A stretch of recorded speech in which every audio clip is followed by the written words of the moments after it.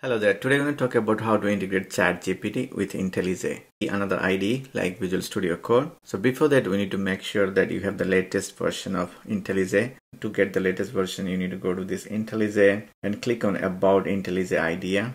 So once you click on that, you'll find here the version number. Otherwise, you'll not able to download the latest ChatGPT plugin. So make sure you have the latest one. The next step is you're going to install the ChatGPT plugin. So if you're new to the channel, please subscribe to the channel and press the bell icon for the notification. You need to go to IntelliJ, then click on this preferences, then go to plugin here, then go to the marketplace, then search for here chat GPT tool. So you could see this is the first plugin which you're going to install. So click on install button here, click on that, it got installed, click on OK so now you could see the ChatGPT is installed successfully. The icon is here. Now once you click on this and once you log in, you will have this screen.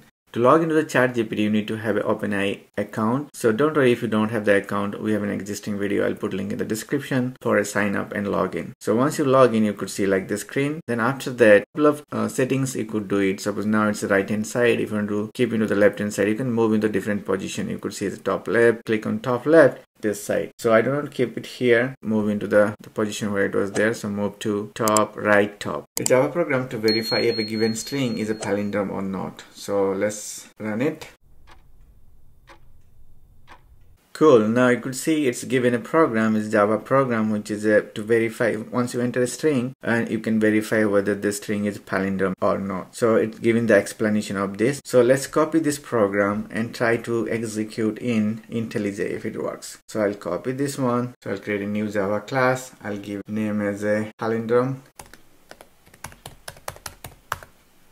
Copy this code so I'll minimize the chat GPT plugin, then I'll paste the code it here. So I pasted the code which I got it from here. You could see I copy the code from here. You can copy from here, click on this copy code button. It will copy and paste it here. So I copy the code, but there is a problem because I given the class name as palindrome, but here name is palindrome checker. So I need to change this name. So go here, right click, refactor, rename the file, and checker click on refactor. Now error is gone. So I need to execute this program now. To execute the Java program in IntelliJ the syntax is control shift R. So I'll press this control shift R. So now you could see it's building and it's going to execute the program so it's asking to enter a string to verify the palindrome. So if I enter madam, M-A-D-A-M, because if you read left to right, right to left, both side is equal. So it's a palindrome. So if I enter, so it's a madam is a palindrome.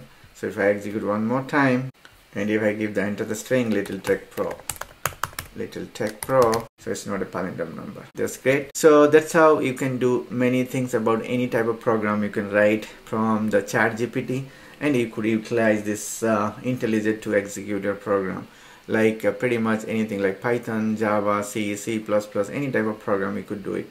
So hopefully this video is helpful for you to integrate IntelliJ and ChatGPT and keep learning and keep watching LittleTek Pro. Thank you. If this video is useful to you, don't forget to like, comment and subscribe. There's a long way to go. Keep learning. Thank you. Namaste.